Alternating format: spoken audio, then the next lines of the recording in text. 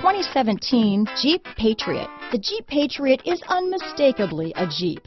It looks like a cross between a Jeep Liberty and Jeep Compass, or maybe a three-quarter scale version of the big Jeep Commander. The Patriot has plenty of room inside for any size family. This vehicle has less than 25,000 miles.